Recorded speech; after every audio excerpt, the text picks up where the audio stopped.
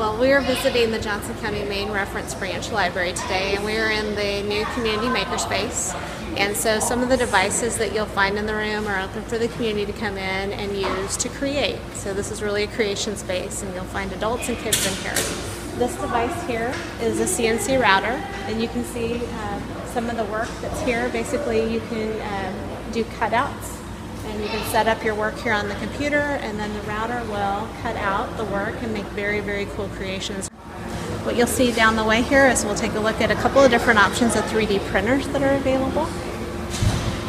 So there is a stage and then there is a polymer or print spool and then you would put your print job up, you would create and then come over and then link up to some kind of um, device that would then send the job to the printer and then it would print it um, in a three-dimensional shape on the stage.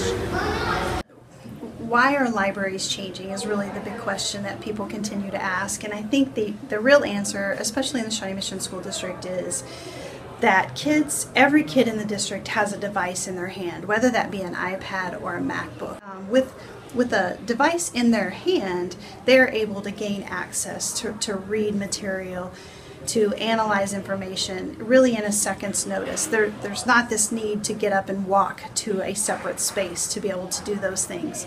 Um, we're not saying those things aren't important though. Kids still have to know how to read and research and decipher information.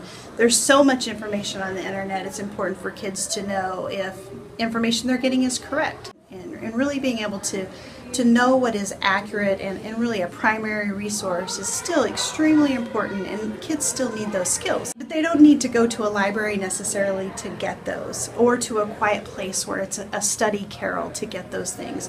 We really want kids in collaborative conversations and working in teams to, to problem solve we value absolutely certified teachers, certified librarians, um, all those certifications that come in our schools. However, we do believe in this particular case that it's really more about hiring the right skills and the right fit for the person versus a certification.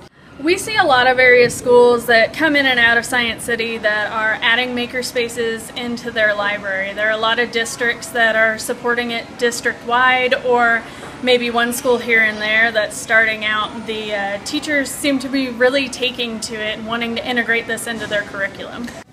And I'm gonna take this light and then when you connect it to the battery it lights up. Huh. And then we're gonna like cut a hole and put it in here.